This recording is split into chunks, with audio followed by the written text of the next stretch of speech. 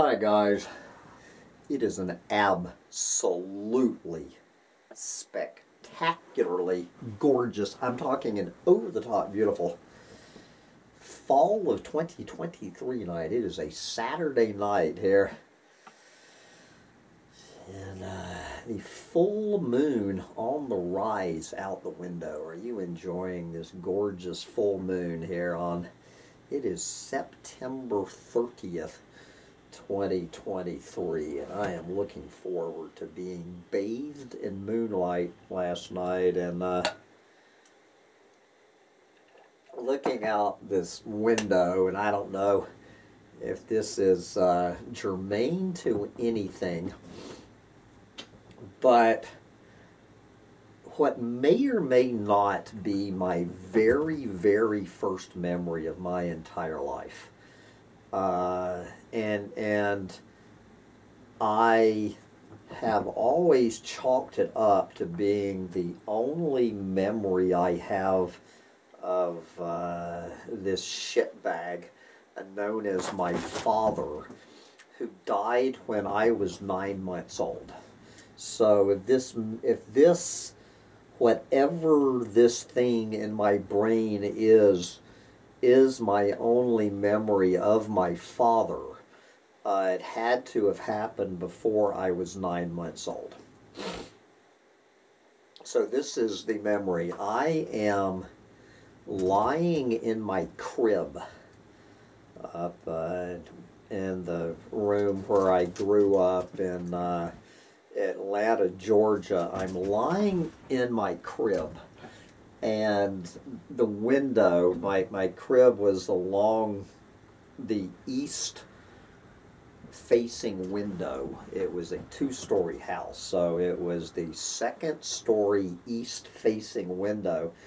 And I was lying in my crib on my back looking at the full moon rising out of the window and uh, being and I and I attach I don't know whether it's fear or wonder or what it was but I I remember seeing this bright white disc of light outside of the of my bedroom window, which obviously was was the full moon on the rise, and then all I have is some fleeting little image. I mean, some hazy, shadowy image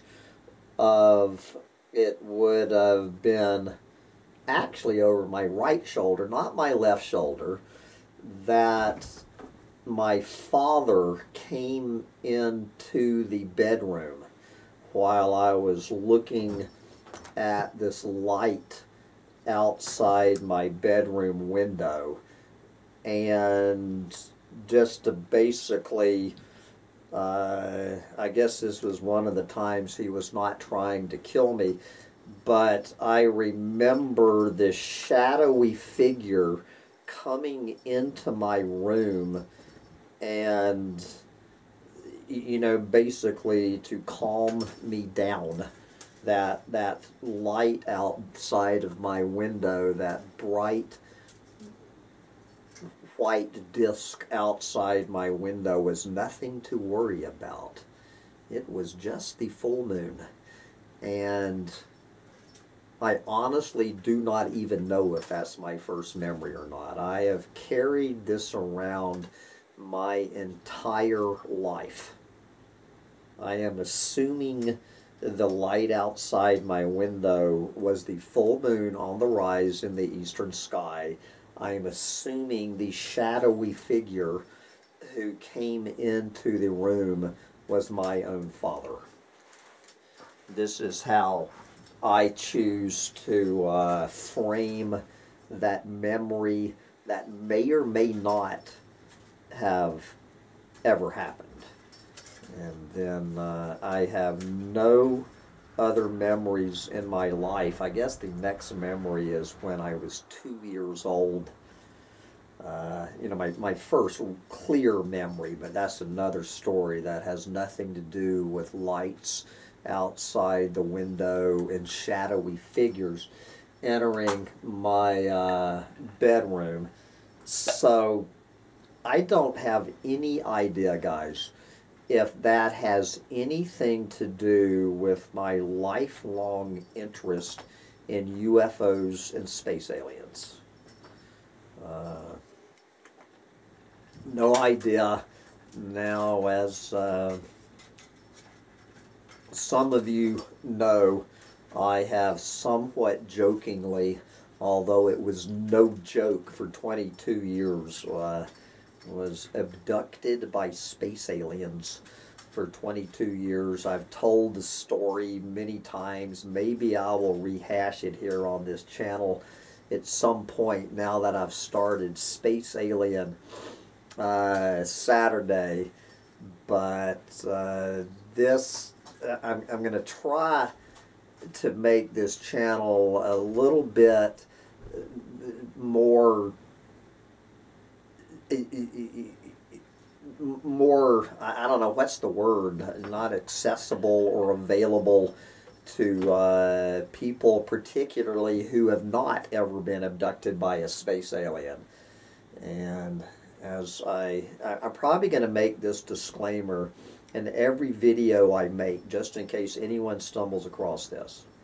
One more time this is just my dis, my uh, disclaimer my amplification and clarification, I have never seen a UFO in my entire life. I sure as shit have never seen a space alien. And one more disclaimer, I think that 99.9% of the UFO space alien literature you find here on YouTube uh, and other places is unadulterated horse shit. And what I'm going to attempt to do here on this channel is try to help you sift through the garbage to reject the 99.9% of unadulterated horseshit uh, out there on this subject and hopefully if I find something that comes along under my radar that I think belongs in that 0.1% of information on this subject that I think you should pay attention to, I'm going to call your attention to it.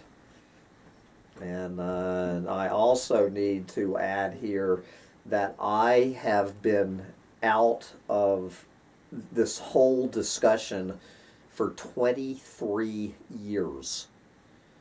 I walked away from this rabbit hole 23 years ago. I have paid virtually zero attention up until the last year or so. I completely tuned out this noise. That's what it was. It, it was noise. Uh, and I just made up my mind in the year 2000 when is uh, the night before I moved to Austin, Texas at age 40 uh, when I kicked the space aliens' asses goodbye and have never been abducted by a space alien ever since I kicked the little fuckers' asses goodbye. Uh, you can find that story on here. I will tell it some other time. So I have been out of the loop for 23 years, guys. So I'm sure there are all sorts of, uh, of, of researchers that I have never heard of, books I have never read, documentaries I have never looked at, and I am asking for anybody out there treating this subject seriously uh, and agrees with me that 99.9% of the stuff out there is horseshit, please, if you have a brain and are seriously interested in figuring out what is going on with the, with the most bizarre phenomena probably on the planet today, please would you uh, in the comments would be a good place. Uh, by all means, I want people to recommend uh, if you see a YouTube video or read a book or know of some researcher uh, who's come along in the past 23 years since I slammed the door shut on this on this nonsense. By all means, share it with me. So anyway, I'm I'm, I'm kind of like picking up in midstream after taking a 23 year hiatus uh, off of this, uh, you know, studying this subject. So, uh, and so to start off, I want to uh, give a big round of applause to good old Netflix. Good old Netflix for this new series that they uh, entered. I think it came out on Wednesday called Encounters. Simply called Encounters. It's a four part documentary series. Each uh, episode is about 50 minutes, like a little shy of an hour each one of these episodes. And there's, and there's four episodes. And with the possible exception of the fourth one, uh, and e- even then, I, we, we, we will get to the fourth one in a minute. I'll, I'll just go down the line. But if, if you are just starting down this road or you've been down this road and you're getting sick and tired as I am about the unadulterated horseshit uh, surrounding uh, space aliens uh, I highly recommend Encounters on Netflix. It, it was probably, with the possible exception of the fourth episode, the single most intelligent uh, discussion of this phenomenon that, that I have ever seen. It, uh, it was an absolute breath of fresh air. I am hoping that this is a sign uh, that other uh, documentary filmmakers and other networks uh, other than, than Netflix are going to start taking this subject seriously and start, uh, you know, giving this subject the serious attention it deserves. It, it, it, it, it's time uh, to, it, it, it is beyond time to figure out what the hell is going on here. And as one of the guys in the documentary uh, who was interviewed, I can't remember, there were a bunch of people they interviewed, you know, he was claiming he thinks, I think, what did he say, that in the next 20 years, we are going to know the truth about this, implying that we were going to have a body. Not a rumor of a body uh, in, in some government vault, in, in some military base underground. It is going to be out there, incontrovertible proof that we have a body of a being from another planet and it's going to blow the fucking lid off. And it, it, it is past time to cut the crap and let it be let it be known what's going on. And uh, so if you are going to, to, to devote three and a half hours of your life to this, starting with Encounters on Netflix, is uh, you could not spend a better three and a half hours. So uh, just real quickly, I mean, you can find all this. So, part one starts off in the good old state of Texas about um, the Stevensville, Texas sightings. Uh, back in, uh, I believe, the 1990s when I was in the middle of all this. So it's devoted mostly to that. Uh, part two, which I'm going to come back to, is uh, mostly devoted to uh, the sighting and, good Lord, I think 1994, it's not important, in uh, Zimbabwe. That sighting. The third part is talking about this rash of sightings in Wales. I think in the late 70s, this rash of sightings of, of UFOs and space aliens in Wales. And then they end up and I, I had never heard this talking about the connection between UFOs and uh, UFOs in both nuclear power and uh, nuclear uh, nuclear arms. It, it, it's about the, the UFO connection between the nuclear industry and they are focusing on these sightings right after the Fukushima disaster. This rash of UFO sightings, although I don't think there were any aliens. The fourth part doesn't talk about aliens very much, but it does. It, it, anyway, I, will just go. Uh, I, I, will come back to the fourth one in a minute. So I would, if I were uh, lining these up in best to worst, it would be part two is the main one. And you can watch all of these individually. You don't, you know what I'm saying. You don't have to start uh, uh with chapter one and go through chapter. I mean, you can watch any one, two, three, or four of them. Uh, but if you're going to watch only one of them, make it part two. And then I would say part one is the second best. The Texas ones, part three, keep it in the third. And part four, it's not that important if you watch it or not. Uh, but so I mainly want to talk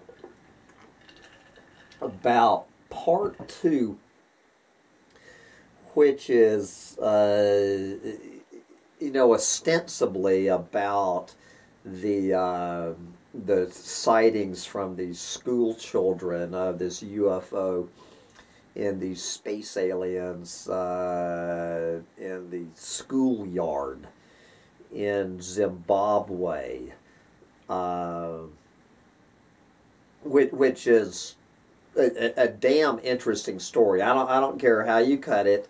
It's just an interesting story. So essentially, sixty children.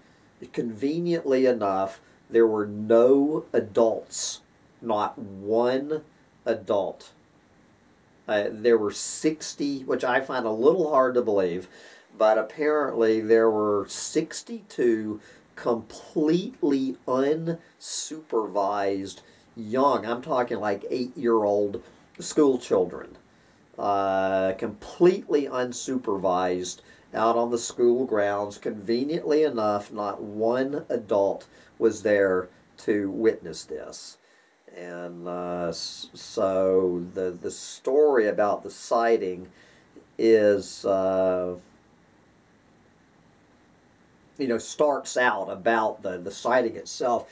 But the reason I really want you to watch it uh, is because who it talks about a lot, who it introduces in there is my number one hero of the uh, the UFO space alien field, and that is Dr. John Mack. They uh, probably about half of the the episode is actually about John Mack's research uh, into the alien abduction uh, phenomenon.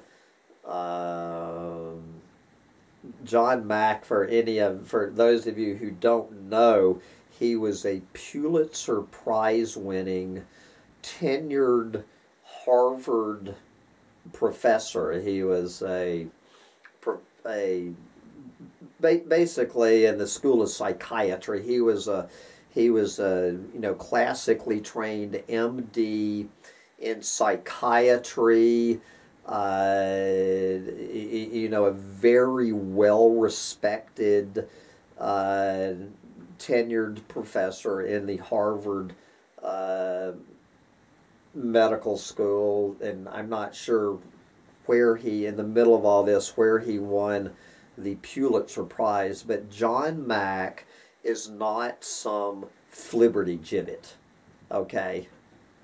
This guy is not some dingaling like, uh, you know, some of the other famous people, at least back when I was still paying attention to this. John Mack was always my number one hero in this. And he, uh, before he was, and I'm not saying this was a conspiracy like a lot of people, uh, before he got conveniently run over and killed uh, by a drunk driver. Uh, how convenient to the people wanting to silence John Mack. And there were a shitload of people who wanted to silence John Mack. But John Mack, before he was so conveniently uh, silenced by the whoever wanted to silence him, uh, wrote two books, and his most famous one was simply called Abducted. And then he had this follow up book, uh, pretty, oh, good lord, I think it's called Passport to the Cosmos, which was a follow up to Abducted, which got very little uh, little play in the UFO community, but in a lot of ways from the Doomer uh, passport to the cosmos has the most solid connection to the Doomosphere. So in uh, Abducted, what so so John Mack uh, just um, to to make a long story short, you know, he started out as a huge skeptic. He just thought that this was obviously a psychiatric condition that anybody claiming that they were seeing space aliens being abducted by them whatever were obli- obviously mentally ill uh, schizophrenic psychos. Anybody claiming uh, certainly that they had been abducted by a space alien, or hell, even claiming that they had seen a space alien, was absolute batshit crazy. So he wanted to figure out this psychological imbalance or this psychiatric disorder, and the more he studied it, uh, he, he, he was forced into uh, the conclusion that uh, these people were not batshit crazy, that they had suffered severe trauma. These were normal, average, you know, intelligent people, educated with careers, families, whatever, that had this shit show up in their life and they were just completely traumatized, their entire lives traumatized by this. And, and he came and, and he had no choice but to face the music. And um, what did he say? He worked with right about a hundred of these abductees uh, obviously, I wish to hell I had met John Mack. I don't think I would have I I would not have, you know, made the cut with John Mack. Uh, so he, he tells their their stories in Abducted. He just basically tells the stories, and then Passport to the Cosmos. Uh, I know I'm getting off of the Netflix series. Uh, I, I'm just going off into books that you need to read. Abducted and Passport to the Cosmos by John Mack. You need to read both of them, especially if you are a doomer. You need to read the second book because what it talks about is kind of like follow up with these people. What ended up happening to these people after being, uh, you know, abducted by space aliens? frequently over a period of, I don't know, 22 years, what he saw over and over and over again these people from all walks of life. I don't know, maybe some real estate agents were in there. What they ended up doing in one form or another is they abandoned their normal lives and just basically pulled the plug on their walked away from the you know the cultural paradigm. And what they did in one form or another they became doomsday prophets they basically started preaching about the end of the world that we you know that this planet is collapsing, that humans are destroying the planet. I don't believe in humans. And over and over again, that these people who have, uh, on whatever level, uh, uh, been abducted by space aliens however that was played out in their lives, uh, how many of them ended up turning into environmental alarmists, doomsday prophets, and the chronicler of the collapse of a planet. And, and, and guys, I read this book. Probably it would have been uh, probably would have been the mid 90s i read this book uh, about these uh, you know when i was kind of in a real estate career. I was a real estate investor and a house flipper among other things. And when i read this book I, uh, I had been abducted by space aliens for 22 years. I came across this book thinking this is very interesting, and 10 or 12 years later, I became a doomsday prophet, an environmental alarmist, and the chronicler of the collapse of a planet. I need to go back and, and read it. it. It's just like, I, I mean, the, the parallels in my own life are downright spooky.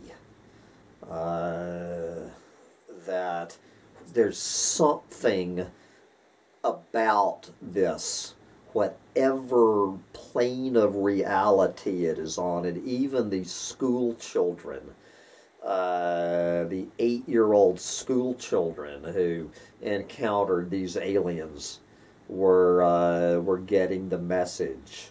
This, this same message of environmental destruction, how the planet was going to hell in a handbasket. So, if you want to uh, see in excellent introduction on John Mack. Watch part two of uh, Encounters on the Zimbabwe. Uh, both, both, both for the story itself and, uh, and, and once you get a little bio on John Mack, then get out there and read Abducted and Passport to the Cosmos, and you will be well into the rabbit hole. Those are, are must reads.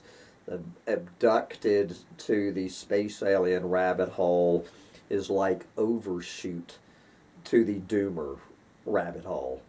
John Mack is the uh, well, I I would say John Mack is the uh, Bill Rees or William Catton. Uh, what what what what William Rees and um, and Catton are to the Doomosphere is what John Mack is to the, uh, the, the space alien rabbit hole. The guy's credentials are rock solid. He has the best source credibility uh, of any of these researchers that you're going to find, unless another one has come along in the last 23 years, and I would like to hear about that. And uh, then after you finish that one, then the, then the Texas one is good. Got a few things I would have I would have trimmed out of it. The one from Wales is pretty good.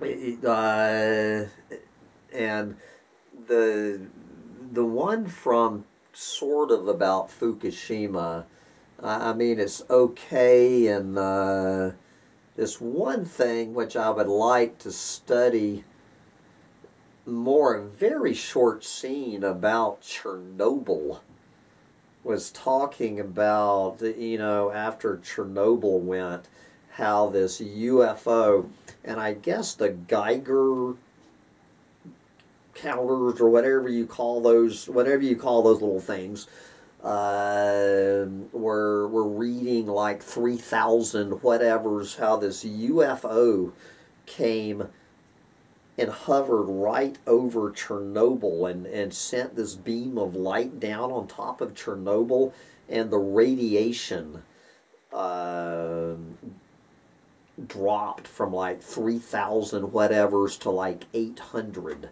in a space of three minutes. And then a pretty well known case, and it's more than one, uh, about how these UFOs have shut down nuclear missile, they've disabled nuclear missile launches. And they have these high ranking military officials going on record is, is how, you know, where in these missile silos, where we have our missiles pointed at Russia or wherever, and that these UFOs can come in there and kill the launch pad. And uh, that that's a pretty interesting story.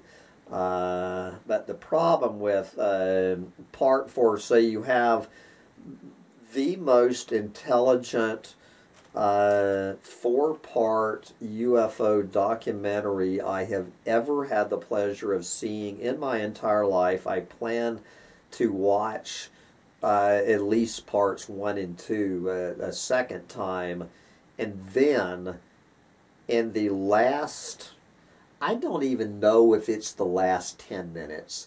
It might be in the last five minutes that I guess they had to do this to get Netflix to agree to uh, to to put the series on out of nowhere, they pull out the most unadulterated horseshit, I mean, jaw dropping, jaw dropping, unadulterated horse shit.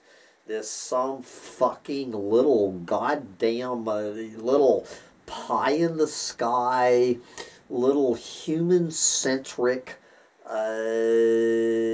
I, I, I don't know where this shit came from out of nowhere and they did everything they could in the last five to ten minutes uh, of part four of this documentary pretty much destroyed the entire four part series. They it, I, I mean it was it, it, it, it was dog choking vomit.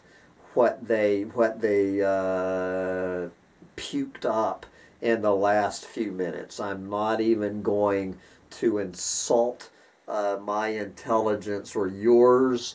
I, I i was very disappointed to put it mildly uh, and just try not to let those last few minutes uh, sour you on uh, this excellent documentary.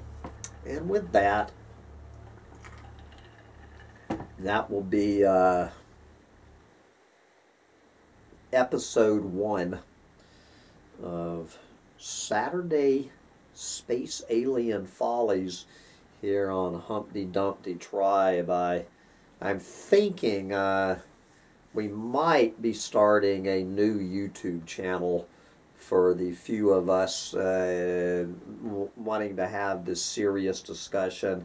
I might be starting, uh, you know, once I, I get a group of the 12 or 13 of you that want to hear this shit, uh, we will see if uh, uh, I'm going to feel like starting uh, a new channel so I don't have to uh, upset you doomers who think I'm uh, that you're losing ham bone around the bend.